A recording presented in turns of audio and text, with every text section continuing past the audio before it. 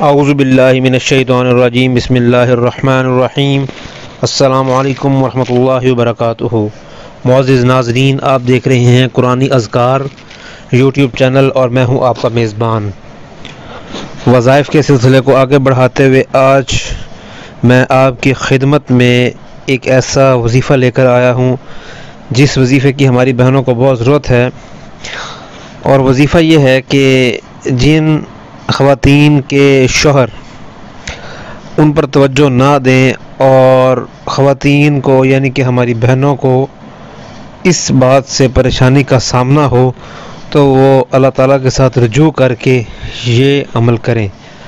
इन तज़ीज़ इस अमल के करने से शोहर के जो दिल में उनके लिए मोहब्बत होगी, वो हासिल कर पाएँगी।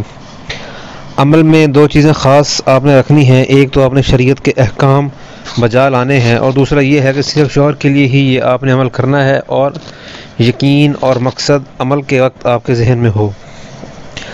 ईशा की नमाज़ के बाद आपने सफ़ेद चादर बिछा कर इकसठ मरतबा, सिक्सटी वन टाइम्स इकसठ मरतबा बिसमीम लिख कर एक तावीज़ बना लेना है।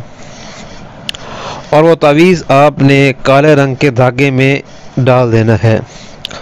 और वो काले रंग का धागा जो है, यानी कि जिस तावीज़ के साथ काले रंग का धागा भी होगा, उस तावीज़ को आपने हर रोज़ इकसठ मरतबा बिसमीम हर नमाज़ के बाद पढ़कर उस तवीज़ को पर आपने दम करना है। यानी कि एक दिन की पाँच नमाजें, आपने पाँच दफ़ा ही इकसठ इकसठ मरतबा बसमीम पढ़ कर दम करना है और वो तावीज़ जो है वो आपने शहर के जो यूँ समझ लें कि तकिया होगा, सर वाली साइड, चाहे वो बेड हो, चाहे सोने वाली कोई भी चीज़ हो, आपने उसके नीचे रखना है।